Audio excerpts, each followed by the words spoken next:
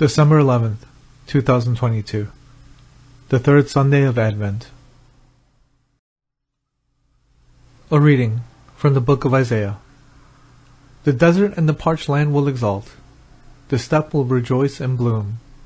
They will bloom with abundant flowers, and rejoice with joyful song. The glory of Lebanon will be given to them, the splendor of Carmel and Sharon.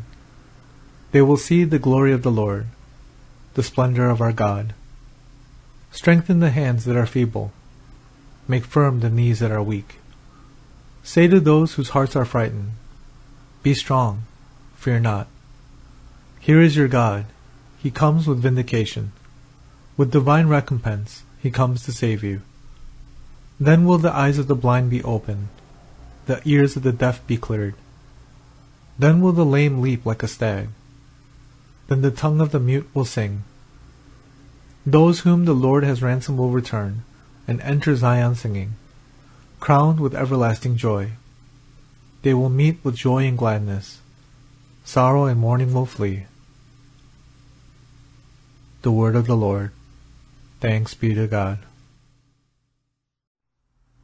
The responsorial psalm is, Lord, come and save us. Lord, come and save us.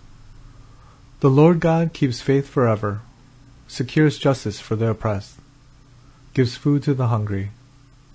The Lord sets captives free. Lord, come and save us. The Lord gives sight to the blind. The Lord raises up those who are bowed down. The Lord loves the just the Lord protects strangers. Lord, come and save us. The fatherless and the widow he sustains, but the way of the wicked he thwarts. The Lord shall reign forever. Your God, O Zion, through all generations. Lord, come and save us. A reading from the letter of James. Be patient, brothers and sisters, until the coming of the Lord. See how the farmer waits for the precious fruit of the earth, being patient with it, until it receives the early and the late rains. You too must be patient. Make your hearts firm, because the coming of the Lord is at hand. Do not complain, brothers and sisters, about one another, that you may not be judged. Behold, the judge is standing before the gates.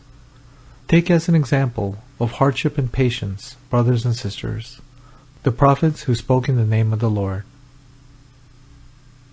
The word of the Lord. Thanks be to God. The Gospel, according to Matthew. When John the Baptist heard in prison of the works of the Christ, he sent his disciples to Jesus with this question Are you the one who is to come, or should we look for another? Jesus said to them in reply, Go and tell John what you hear and see. The blind regain their sight, the lame walk, lepers are cleansed, the deaf hear, the dead are raised, and the poor have the good news proclaimed to them. And blessed is the one who takes no offense at me. As they were going off, Jesus began to speak to the crowds about John. What did you go out to the desert to see? A reed swayed by the wind? Then what did you go out to see? Someone dressed in fine clothing. Those who wear fine clothing in royal palaces. Then why did you go out? To see a prophet? Yes, I tell you, and more than a prophet. This is the one about whom it is written Behold, I am sending my messenger ahead of you. He will prepare your way before you. Amen, I say to you. Among those born of women, there has been none greater than John the Baptist. Yet the least in the kingdom of heaven is greater than he. The Gospel of the Lord.